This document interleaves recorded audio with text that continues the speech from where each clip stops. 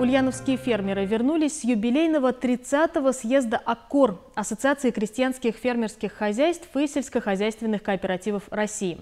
Съезд приурочен к 30-летию фермерского движения в нашей стране и собрал около 800 делегатов из всех регионов.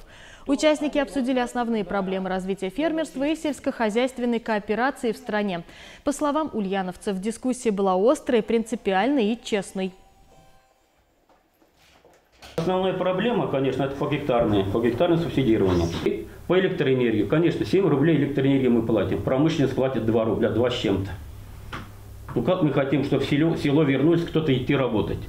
Также затронули проблемы обеспечения ГСМ и неравномерности распределения рынков. Вспомнили тяжелый для фермера 2017 год, когда цена продукции падала ниже себестоимости и были большие проблемы с реализацией.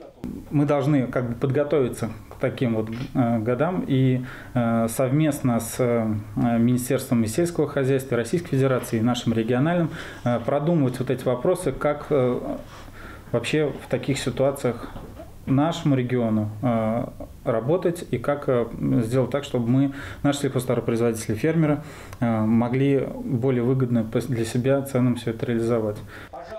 Темой для обсуждения стали и положительные моменты, например, опыт по созданию фермерских кооперативов.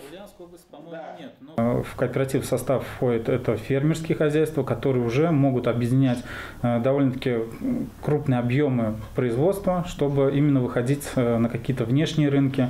И э, была бы возможность реализовать свою продукцию более выгодных, на более выгодных для себя условиях. Обсудили и другие вопросы. Пути увеличения сельскохозяйственного производства, регулирования земельных отношений, повышения эффективности использования государственных средств поддержки и доходности крестьянских хозяйств.